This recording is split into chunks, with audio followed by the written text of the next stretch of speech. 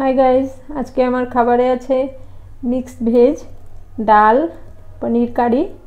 পটল ভাপা উস্তে ভাজা বেগুন ভাজা গন্ধ লেবু খাওয়া শুরু করি